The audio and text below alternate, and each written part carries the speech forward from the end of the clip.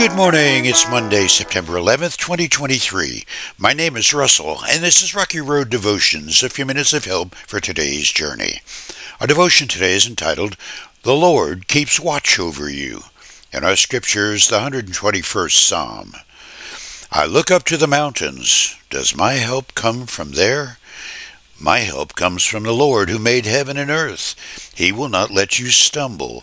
The one who watches over you will not slumber. Indeed, he who watches over Israel never slumbers or sleeps. The Lord himself watches over you. The Lord stands beside you as your protective shade. The sun will not harm you by day, nor the moon at night. The Lord keeps you from all harm and watches over your life. The Lord keeps watch over you as you come and go, both now and forever. For more than two decades, today's date on the calendar brings remembrances of the coordinated attacks on American soil in 2001. It also recalls other times when the sovereignty of our nation was tested.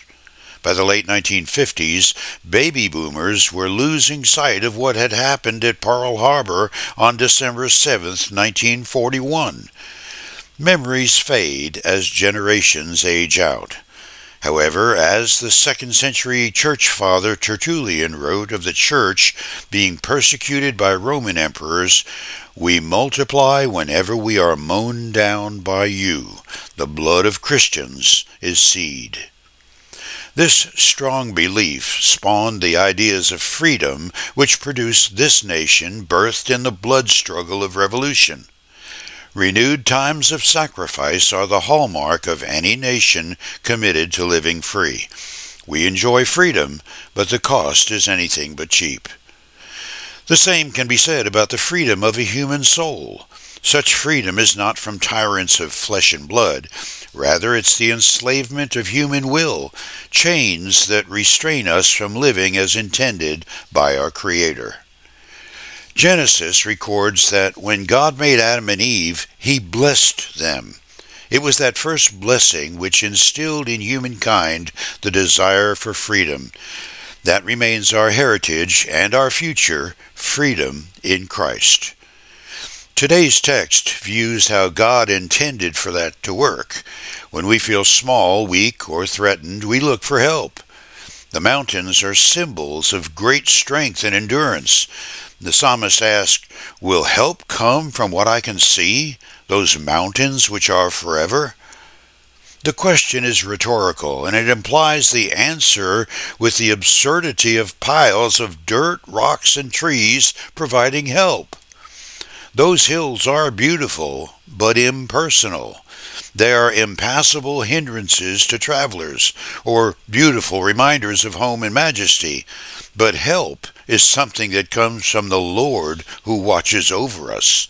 So, it's folly to look to the mountains for help. Rather, it's Scripture's intent to remind us to look past the gift of such majestic beauty like mountains or freedom, look past the gift all the way to the giver.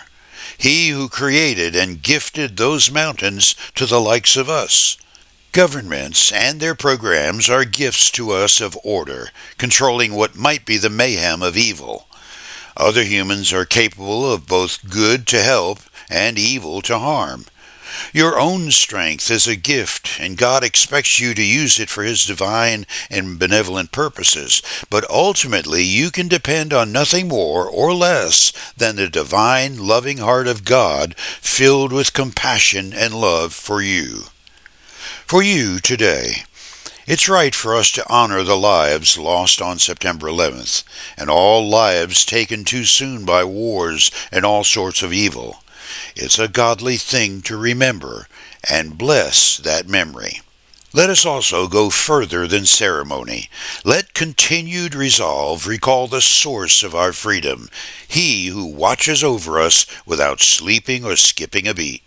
It was His blood which bought freedom for the soul. You chew on that as you hit the rocky road. Have a blessed day.